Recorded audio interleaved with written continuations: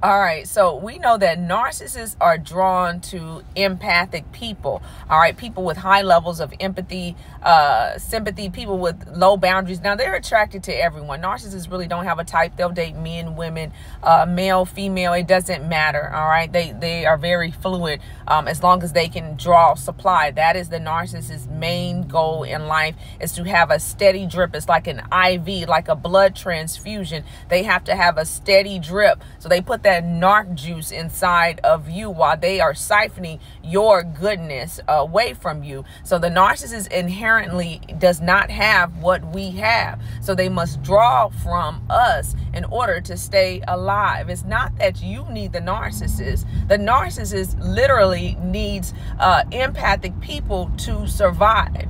All right, let's break those chains. You don't need the narcissist. The narcissist needs you.